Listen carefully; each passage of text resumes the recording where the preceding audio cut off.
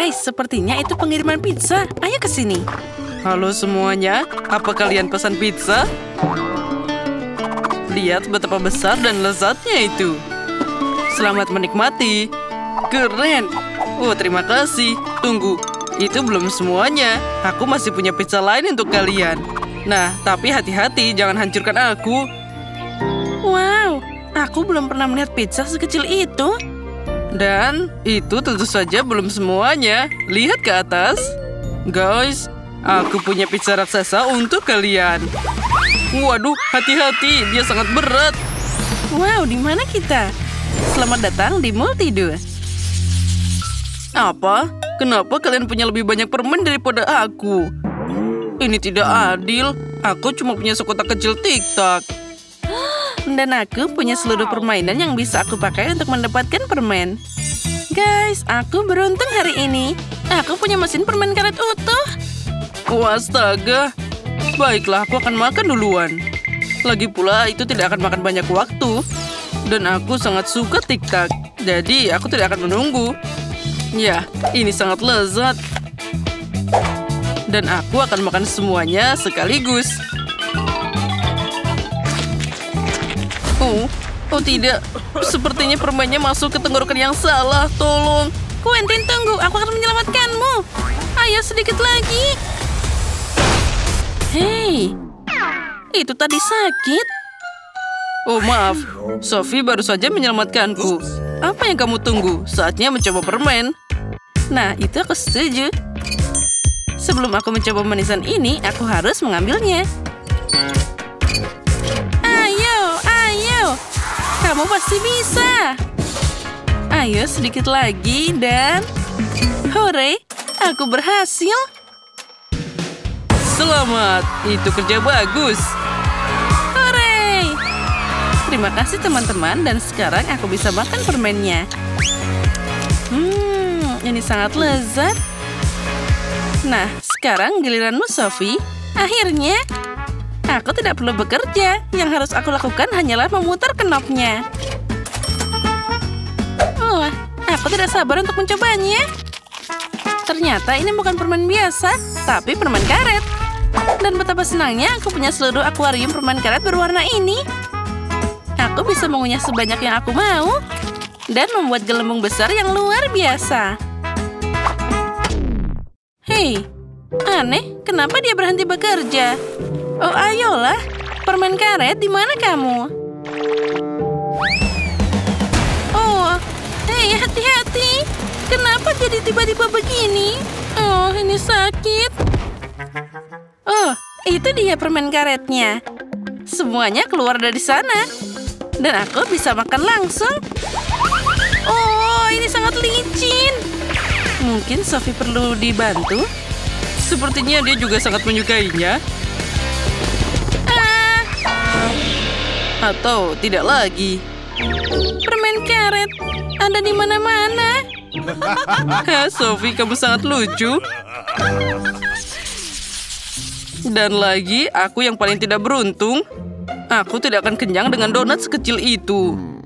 Ya, aku bahkan tidak bisa merasakannya. Tapi donatku bahkan tidak ada apa-apanya. Lebih dari yang ada dijual di kedai kopi mana pun. Ya, tapi tidak ada yang sebanding dengan raksasa ini. Oh ya, dibandingkan dengan dia, milikku tampak lebih menyedihkan. Kamu bahkan tidak bisa melihatnya tanpa kaca pembesar ini. Baiklah, berhenti buang-buang waktu, saatnya mencoba. Enak, tapi cuma sedikit. Ya, kasihan kamu, Quentin. Untung donatku masih menungguku. Sekarang aku akan melahapnya. Oh. Mungkin inilah kesempatanku. Aku dapat. Tidak, jangan. Itu milikku. Ayo, kembalikan sekarang juga. Aku sangat lapar. Oh, tetap saja aku dapat setengah. Ini lebih baik daripada tidak. Guys, saranku kalian jangan pernah memutar donat di atas jari. Atau temanmu akan mengambilnya darimu. Donat itu akan hilang. Tapi donatnya enak. Dan raksasaku masih menungguku. Sepertinya aku tahu cara yang bagus untuk memakannya. Aku bisa meletakkannya di leher, memelintirnya dan perlahan-lahan menggigitnya. Wow, itu sangat cepat. Namun setelah itu kepala mungkin mulai berputar. Oh, guys, kenapa kalian jadi berempat? Tadi kan ada dua. Sesuatu membuatku merasa tidak enak. Ternyata itu bukan cara makan donat yang paling sukses.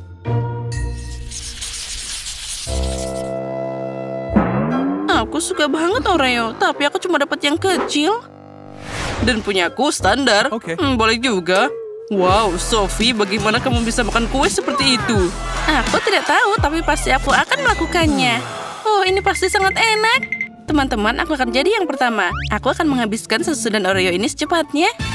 Oh, aku punya ide. Aku tahu cara memperbesar kueku. Nah, lihatlah. Itu lebih baik.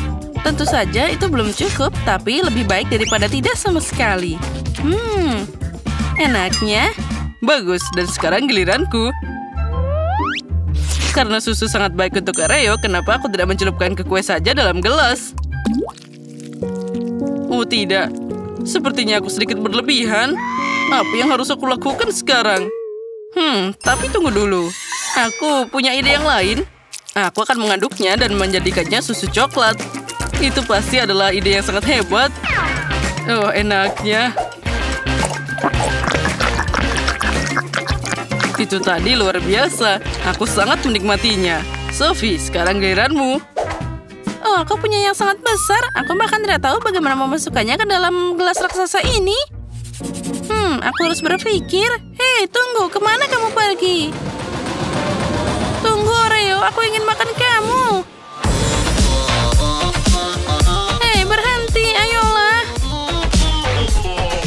Jadi lelah. Ah, kue itu kembali. Eh, tidak. Hei, berhenti. Oh, aku sangat lapar. Aduh. Ah. Oh. Itu tadi sangat tidak menyenangkan. Dan kuenya rusak.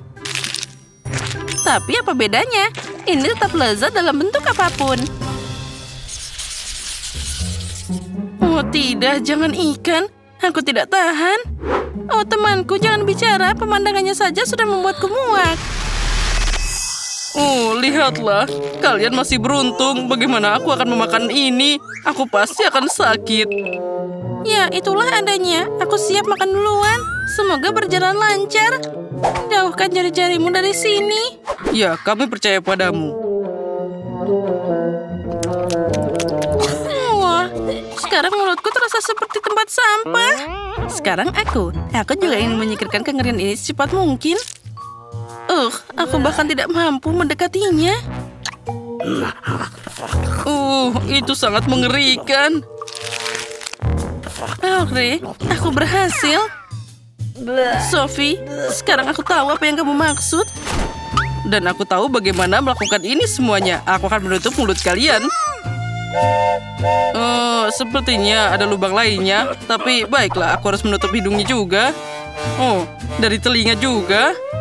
Nah, sekarang itu juga harus ditutup. Nah, sekarang itu bagus. Quentin, sekarang giliranmu. Oh, astaga. Itulah yang aku tidak ingin. Tapi tidak banyak yang tersisa. Aku akan menyelesaikan tugas ini sampai akhir. Oh, astaga. Aku tidak menyangka akan makan semua ini. Uh, itu bau banget. Aku akan pingsan di sini. Ayo sedikit lagi. Aku anak laki-laki dan aku pasti bisa mengatasinya. Lihatlah bagaimana aku bisa melakukan ini. Uh, aku akan mual sekarang. Tinggal kepalanya. Aku pasti bisa. Uh, itu tadi sangat sulit. Aku hampir tidak mampu mengatasinya. Dan juga sangat bau. Hei, apa kalian baik-baik saja? Wow, ramen coklat. Ini sangat enak. Hore, aku dapat ukuran yang lebih besar. Aku suka mie. Wah, itu dia porsinya. Keren abis. Itu semua untukku. Aku tidak akan berbagi dengan siapa pun. Baiklah, Aku mau makan duluan. Sendok tidak akan membantu di sini. Aku akan mengambilnya dengan jariku. Mari kita coba. Hmm, enaknya. Mie coklat ini akan menarik bagi semua orang. Dan pasta itu hanya punya warna yang tidak biasa. Itu sangat manis, tapi cepat habis. Oh, aku mau lagi. Maukah kamu berbagi denganku? Hmm, apalagi ini? Mary berencana makan mie dengan sempit. Apa kamu tahu cara pakainya? Oh, ternyata dengan bantuan mereka, kamu bisa mengambil banyak pasta dan makan langsung. Hmm, Jess memutuskan untuk memotong beberapa pasta dari temannya. Dia bahkan tidak menyadarinya. Lihat, ada yang mau curang selama tantangan. Tapi Mary tidak melihatnya. Hal itu melanggar aturan, tapi kamu bisa makan mie yang lebih enak. Kerusakan berhasil. Dan Mary masih tidak menyadarinya. Nah, sepertinya dia mau terus makan. Dan mau lanjut aja. Aha, tertangkap pencurinya.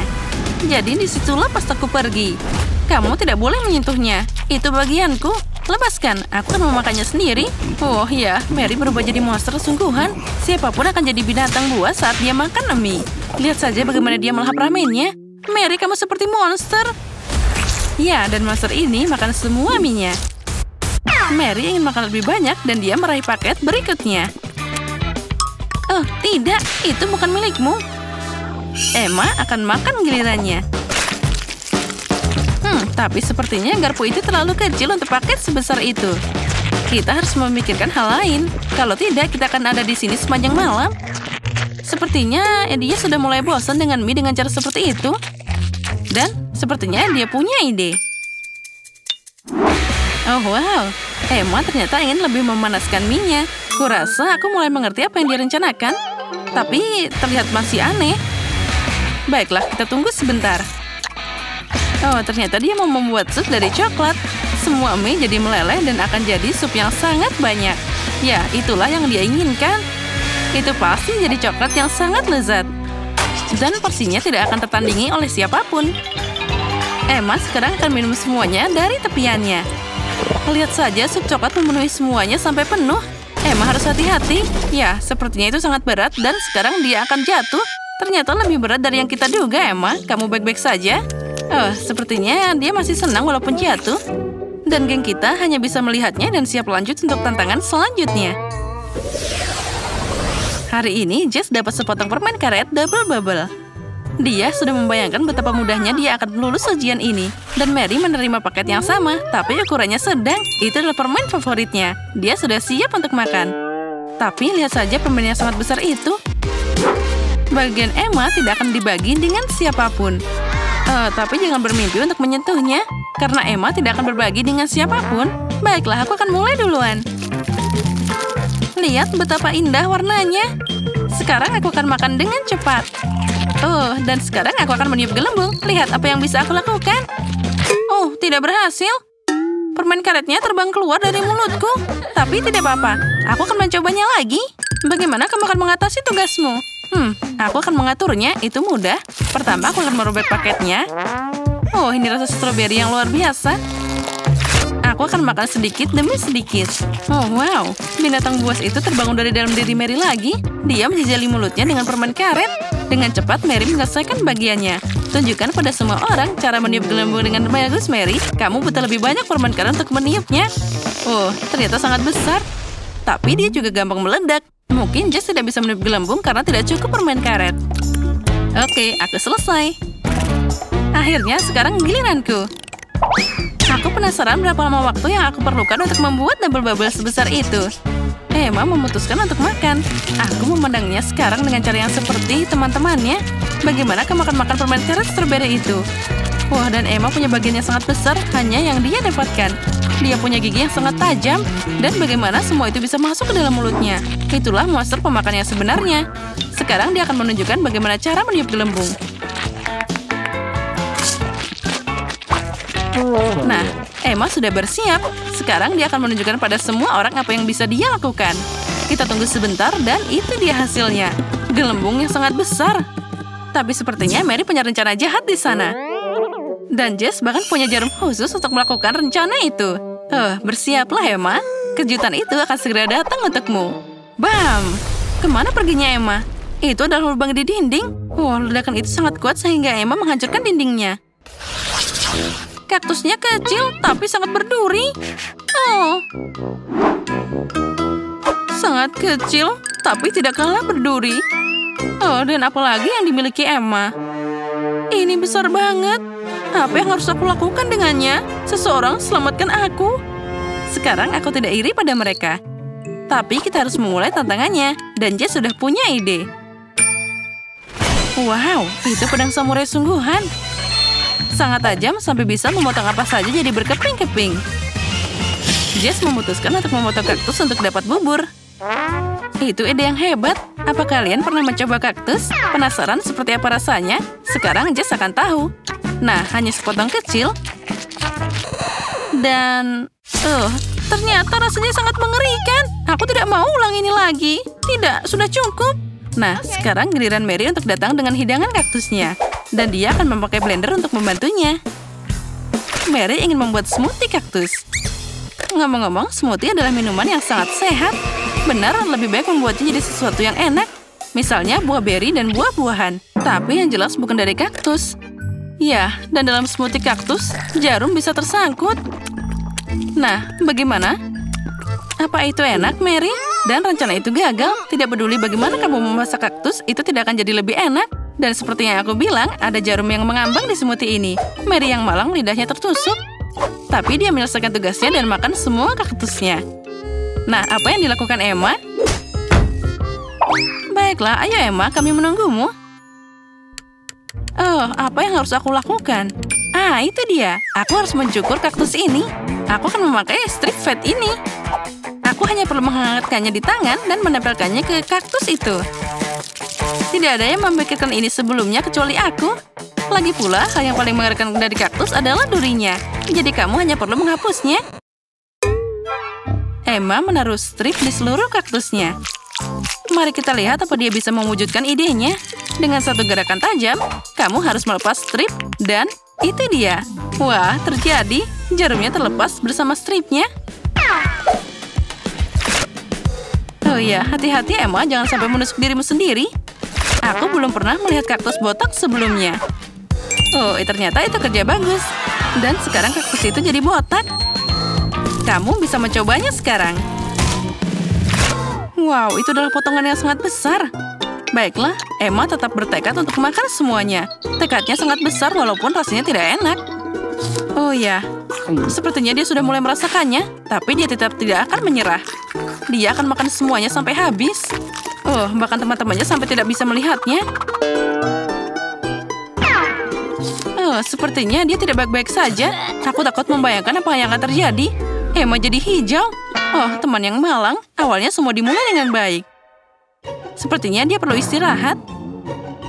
Tapi jangan khawatir, Emma akan baik-baik saja di sana. Dia masih punya banyak tantangan di depan sana. Apa kalian menyukai videonya? Maka subscribe Multidu dan nantikan tugas baru untuk Emma, Mary, dan Jess. Sampai jumpa lagi.